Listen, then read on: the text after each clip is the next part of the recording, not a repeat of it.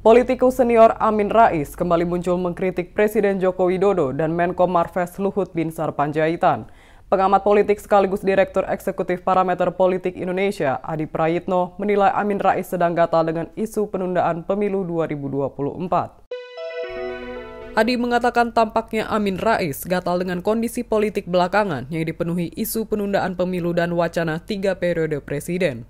Padahal menurutnya banyak isu rakyat yang jauh lebih penting seperti mahalnya minyak goreng, kelangkaan solar, kemiskinan, dan lainnya. Menurut Adi bukan hanya Amin Rais yang gatal dengan tingkah elit yang mengusulkan penundaan pemilu 2024, tetapi juga anak kecil.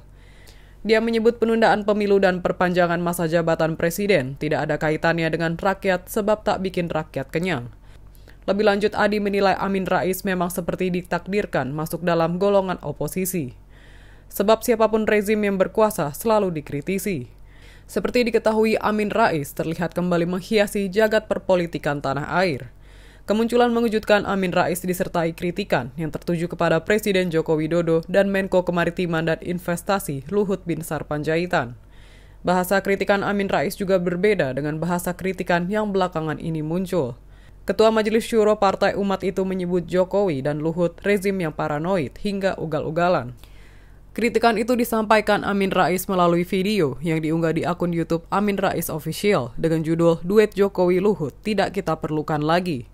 Video itu diposting pada Sabtu 2 April 2022. Duet Jokowi Luhut ya, yang selama ini menjadi simbol dan substansi rezim yang berkuasa sekarang ini itu sesungguhnya jangan lupa harus berakhir pada Oktober tahun 2024.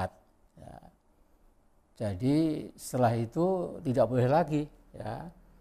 Dua oknum ini lantas menggerakkan berbagai macam cara keputusan tekad ala Orde Baru dulu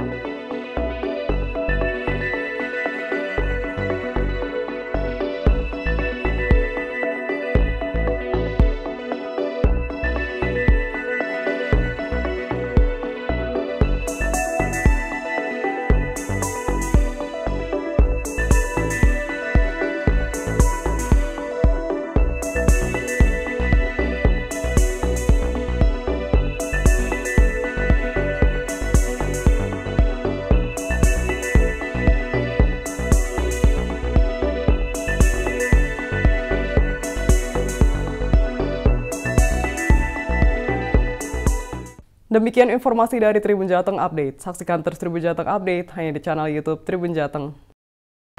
Jangan lupa follow, like, dan subscribe sosial media Tribun Jateng.